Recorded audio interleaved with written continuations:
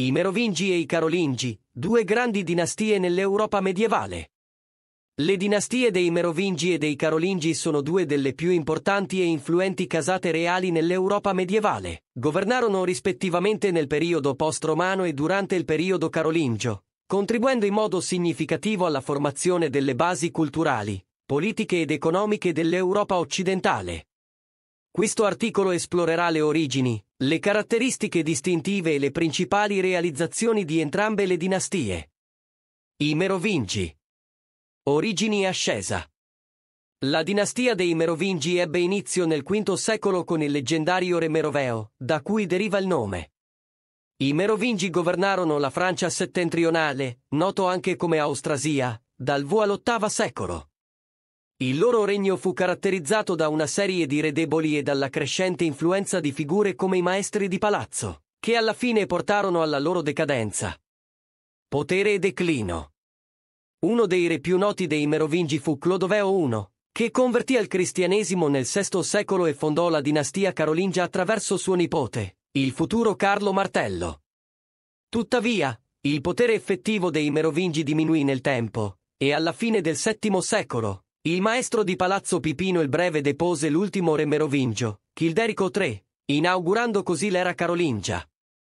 I Carolingi. Carlo Martello e Pipino il Breve. I Carolingi presero il controllo effettivo del regno franco sotto Carlo Martello, che sconfisse i musulmani nella famosa battaglia di Tours nel 732.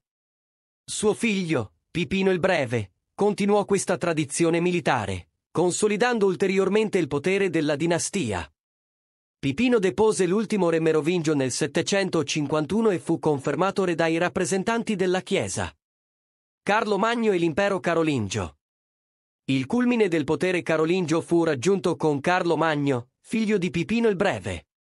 Carlo Magno, noto anche come Carlo I, fu incoronato imperatore del Sacro Romano Impero nell'Ottocento da Papa Leone III a Roma. Il suo impero, noto come l'impero carolingio, copriva gran parte dell'Europa occidentale e centrale. Eredità e declino. Dopo la morte di Carlo Magno, l'impero carolingio fu diviso tra i suoi figli secondo il trattato di Verdun nell'843. Questa divisione portò a un progressivo indebolimento dell'unità imperiale. Le lotte per il potere interne e le pressioni esterne, come le incursioni vichinghe e saracene, contribuirono al declino della dinastia carolingia. Conclusioni Le dinastie dei Merovingi e dei Carolingi svolsero ruoli chiave nella storia dell'Europa medievale. I Merovingi furono i precursori dei Carolingi, mentre questi ultimi raggiunsero l'apice del potere con Carlo Magno e l'impero carolingio. La loro eredità influenzò in modo duraturo la storia politica, sociale e culturale dell'Europa, contribuendo alla formazione delle basi della civiltà occidentale. Nonostante il declino delle dinastie stesse, il loro impatto rimane evidente nei secoli successivi.